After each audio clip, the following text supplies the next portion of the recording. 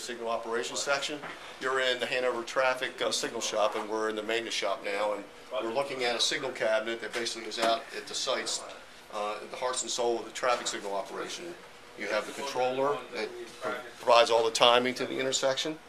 You have the malfunction management unit, which basically is looking at all the colors out in the street to make sure all the colors are correct to the drivers. If it sees opposing colors, it puts the light on flash prior, before the motorists even see opposing colors.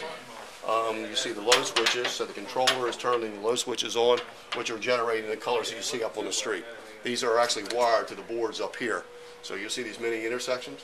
So that's driving it just as if it's out on the street. So each one of these controllers, this one drives that, of course, this one, of course drives that one. I'm calling Arundel Mills Shopping Center. I've called up the intersection of 1713 and Arundel Way. And what you're seeing now is this is a full intersection operation as it's operating now at the intersection, real-time display. You'll see the main line is green, left turns are red, side road is red. All these blue squares you're looking at are loop detectors, so there's a vehicle sitting on the side road waiting to be served. We're now servicing the side road, you'll see the actuation. So there's vehicles there present. And can you do this with any traffic signal in the state? Um, we have 3,000 traffic signals we maintain. I think right now we're probably about 1,700 we can communicate from the office. Our goal is eventually have everything online. And we're what's the working toward that goal. advantage of communicating online? Well, the, the, the advantage is that I don't have to send a signal technician to the site. I can actually verify the operation from here. Um, if I, I can verify if it's working correctly, uh, give you an example. They call and say the side road short timing. I can call this up, observe the loop detectors, check to see if it's timing the proper max time, and then basically not even have to send a technician on to the site. I'm Tom Hicks. I'm the Director of the Office of Traffic and Safety for the Maryland State Highway Administration. We're standing at the intersection of Arundel Mills Boulevard and Ridge Road, which is Maryland Route 713 in Anne Arundel County. And we're at a traffic signal which can be rather uh, busy at, in the commuting hours and certainly when the mills is open. Uh, we feel that the signal runs very well. We have a motorists out here who may not always agree with us. Uh, they, of course, are concerned about always getting a green light.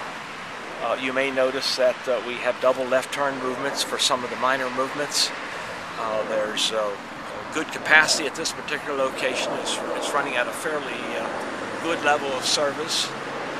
It's similar to many major intersections in the Arundel, Arundel and Arundel County area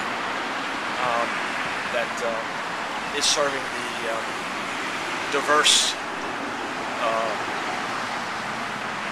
uh, needs of the uh, community, businesses, and the um, uh, airport nearby. It is operating fairly safely, uh, without uh, undue congestion, without uh, any accident experience. It is one of our more modern intersections, and it's the type of intersection that we would like all of our intersections to be. It's in part of a system tied in with the interchange uh, ramps uh, down at Maryland 100 and also uh, with the signals along the Arundel Mills Boulevard uh, which serves the mall area.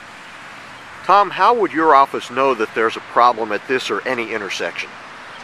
Uh, mostly from uh, calls from customers. Uh, occasionally our, uh, our people will check it on the computers back in our central office to see how things are working. Uh, but generally it's customers' calls that uh, a, a detector is hung up uh, or there's uh, some other undue delay they feel and it's not what they see every day and we're taking a look at. Otherwise, we come out about every two to three years and check our signals, particularly our signal systems, to make sure that they're operating safely and efficiently.